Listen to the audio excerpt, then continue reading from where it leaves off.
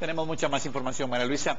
Y la falta de una estrategia para reducir el robo de celulares y otros delitos estaría ligada a la carencia de estadísticas certeras.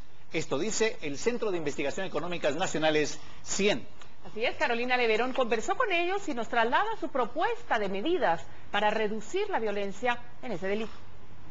Los actuales esfuerzos como operativos en el mercado negro de los celulares a través de la Fuerza de Tarea contra el Robo de Celulares no han sido suficientes para reducir la incidencia del delito, dice el 100.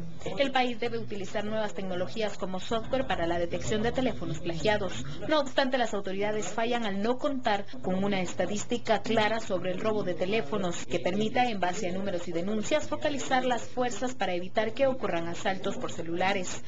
En 2012, la CID reportó el robo de 140 2.745 teléfonos celulares. Este año reporta que 333 aparatos son robados diariamente.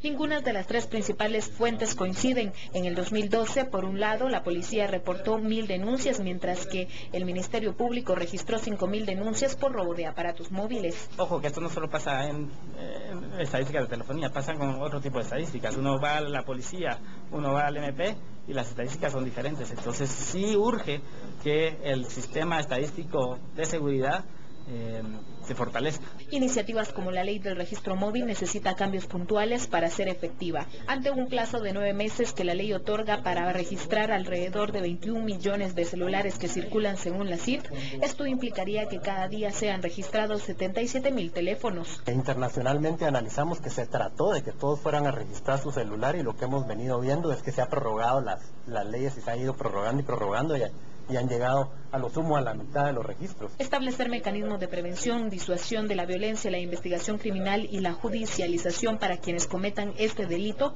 es la propuesta del 100, además de lograr que los teléfonos sean inservibles en cualquier parte del mundo. Existe una organización mundial que se llama GSMA. Esa organización ya tiene una lista negra mundial. Solo es cuestión de que los operadores locales se conecten. Eso entiendo ya está empezando a suceder aquí en Guatemala. No solo sucede en Guatemala, sino que también sucede en El Salvador, también sucede en Honduras, también sucede en Nicaragua. Guatemala es uno de los países con mayor tasa de robo de celulares. 925 robos se producen por cada 100.000 habitantes. Bolivia ocupa el puesto 1 con una tasa de 7.197 robos por cada 100.000 habitantes, seguido de Venezuela con 4.571 por cada 100.000 habitantes. Actualmente Estados Unidos e Inglaterra ejercen presión sobre los fabricantes de las marcas de celulares para que hagan imposible el uso de un teléfono robado. Por una Guatemala en paz, Carolina Leverón y Byron Secaida.